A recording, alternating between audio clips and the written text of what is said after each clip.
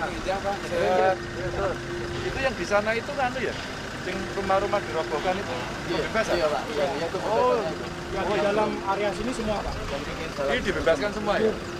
Dan sampai mana sih beres ah yang di sini tinggal sedikit sih pak yang di sini. Tapi yang yang ini sih atau pinggir jalan sing ono protes-protes ini.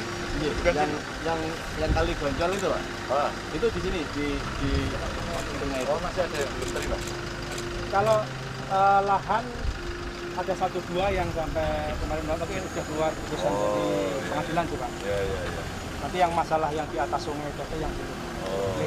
oh, jadi ini bebas semua ya ini ya? Nanti. Tapi sudah banyak yang ngerobohin rumah gitu Pak ya? Ya kita yang ini Pak. Oh, dari kita? Karena udah bebas terus kita Iya. di clean up gitu ya? Oh, Iya. Oke, oke. Gitu. Jadi tinggal satu dua satu dua yang belum. Oke. Mungkin Mersani gitu Pak. Nanti kan gini Pak.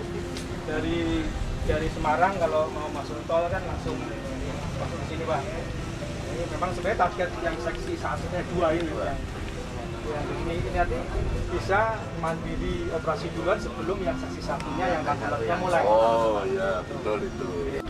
Memang eh, usul saya sih nanti ya ini pun bisa pakai sistem border. Saat ini BB dari dulunya sudah sudah banjir, tapi alangkah baiknya dengan adanya tol ini menjadi perhatian dan bisa menyelesaikan semua masalah. Eh, this uh, pelayaran kanal is interesting ya, because uh, this that uh, engineer uh, heritage. Yeah. Yeah. Well, like like uh, I've been uh, working like seven years at uh, ADM, Ya, ya, ya. and before I did like consultancy, so I like uh, do like a lot of modeling stuff. So actually, I was like uh, lately doing some research with students of this area. And, uh, while driving this uh, this drainage channel, I, I recognized that it should be like maybe a little bit like Semua disosialisasikan, banyak sudah menerima, terima kasih. Yang belum menerima, kita ajak bicara. Dan memang ini bukan cerita hanya membuat jalan, tapi sekaligus desain awalnya itu akan mengendalikan banjir, lalu mengelola air.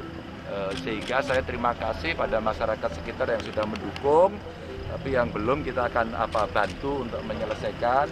Karena ini memang untuk masa depan masyarakat yang lebih banyak gitu ya.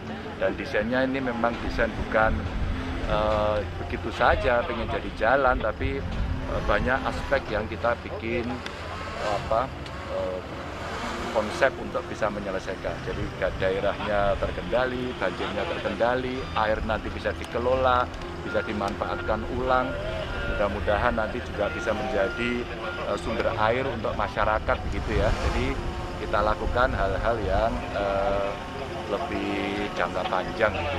Dan kita juga menghitung-hitung kan kalau tingkat kepadatan seperti ini untuk tempat tinggal dengan penurunan muka tanah yang sangat tinggi pasti menjadi tidak layak.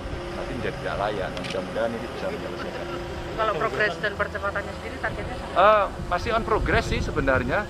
Masih on progress dan maka tadi saya tanya juga karena kita sudah saya sudah bicara dengan Pak Basuki Pak Menteri PUPR apa nampaknya juga menjadi perhatian. Sehingga tidak ada persoalan tinggal kerjaan teknis mungkin Pak ya? Iya. tinggal kerjaan teknis saja.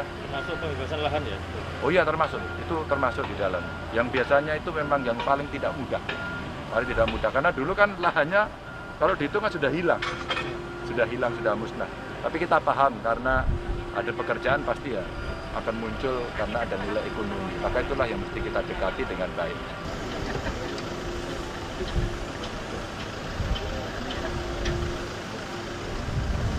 Oke, makasih.